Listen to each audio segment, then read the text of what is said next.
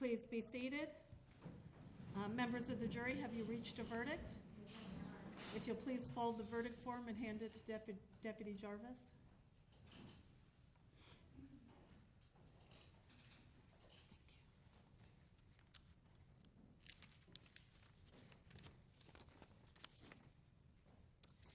Okay, if you'll please publish the verdict.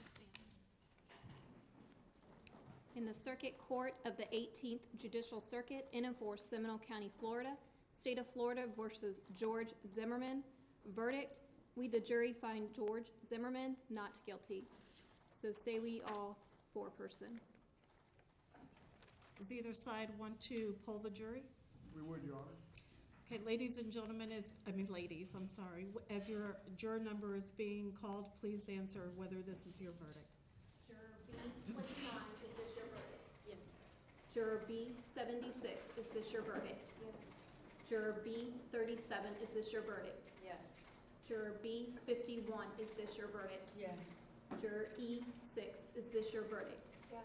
Juror E forty, is this your verdict? Yes. Thank you.